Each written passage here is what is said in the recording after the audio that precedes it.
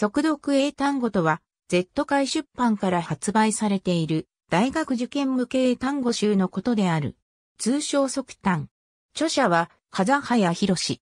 英単語をバラバラではなく、ストーリーのある長文の中で読み込み、または CD で聞き取り、それから単語としての意味と用法も確認するというコンセプトで構成されている。中学版、入門編、必修編、上級編の4シリーズがあり、派生版として速読英熟語も存在する。すべて対応 CD が別売りである。中でも必修編は大学受験生の支持を集め、受験参考書サイトなどにおいても英単語集の中で売り上げ1位を維持している。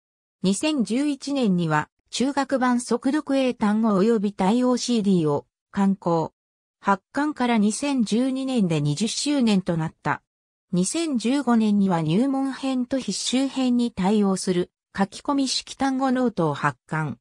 2018年には英単語アプリ毎巻に速読英単語必修編改訂第6版を組み込んだ毎巻速単もリリースされた。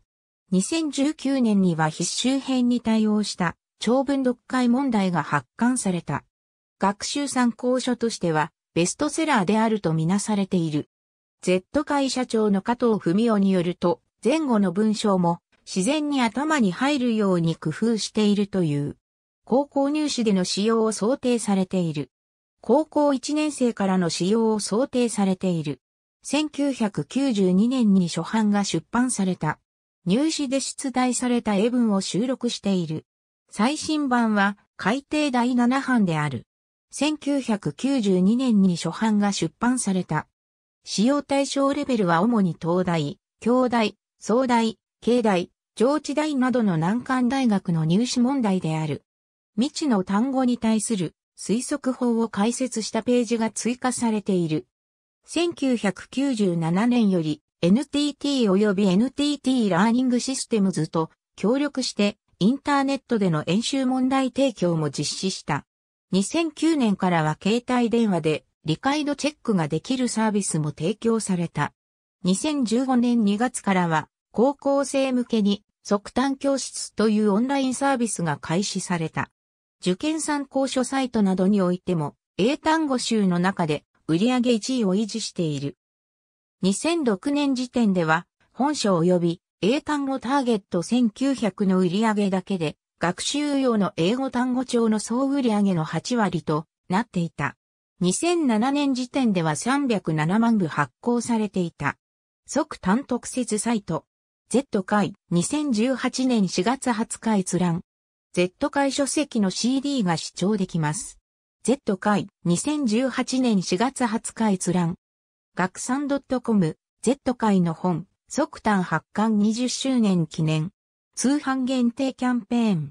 News2u リリース。2018年4月21日閲覧。Z 会の本、英語受験生の定番。生きた、単語力が身につく、速単シリーズ5点、上級編、改訂第4版、対応 CD、入門編分冊版、書き込み式単語ノートを発刊しました。 News2u リリース。2018年4月21日閲覧。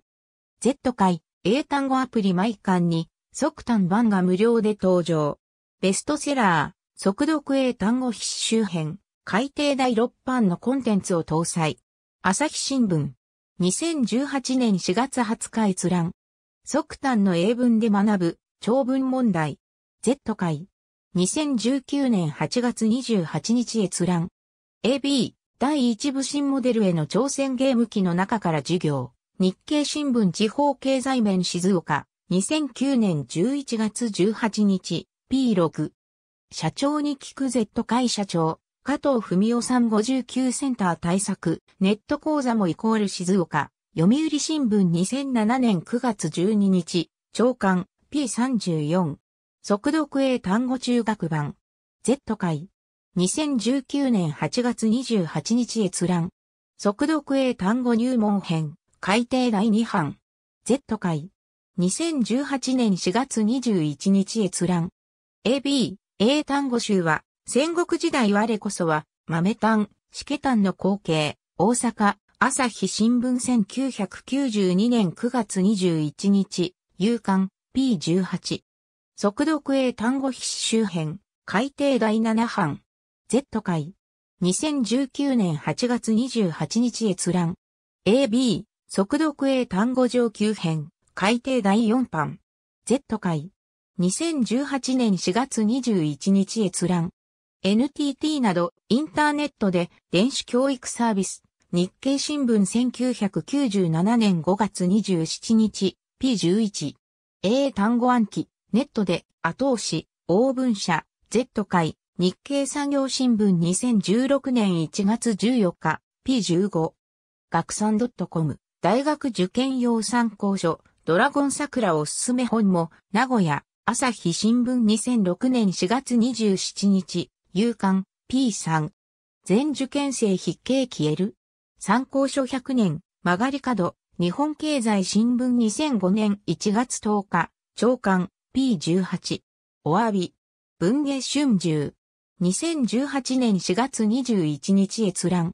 AB、文芸春秋。商標無断使用で、文春新書絶版。毎日新聞2006年12月22日、東京長官 P28。ありがとうございます。